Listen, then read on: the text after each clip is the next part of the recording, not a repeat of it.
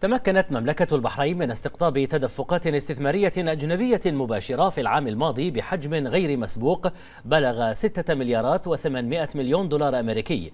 وذلك وفقا لتقرير الاستثمار العالمي 2024 الصادر عن مؤتمر الأمم المتحدة للتجارة والتنمية الأونكتاد.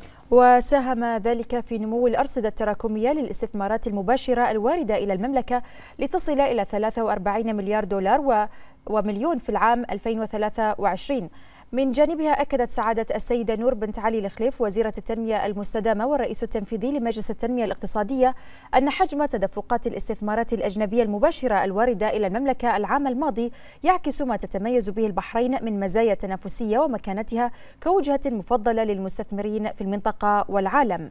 كما أشارت الوزيرة إلى أن مملكة البحرين أثبتت موقعها كوجهة مثلى تمكن أبرز الشركات من الاستفادة من بيئتها المواتية للأعمال للنمو والوصول إلى أسواق دول المنطقة والعالم.